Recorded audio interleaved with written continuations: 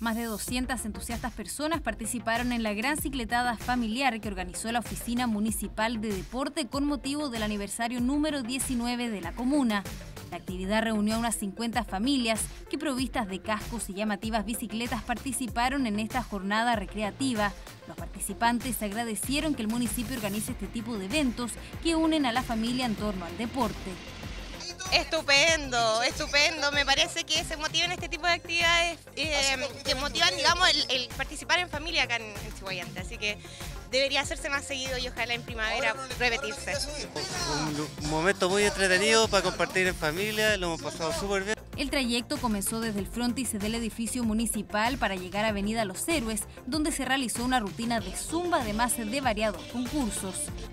Asimismo, se premió a la familia Guiñez Sangüesa, integrada por cinco miembros como la más numerosa de la jornada. ¿Qué les ha parecido la actividad? No, bonita, súper bonita, porque, bueno, por los hijos nosotros lo hicimos y ellos querían participar. Bueno, porque pudimos ir, pudimos ir todos juntos en la familia y me gustó ir con mi familia en la bicicleta.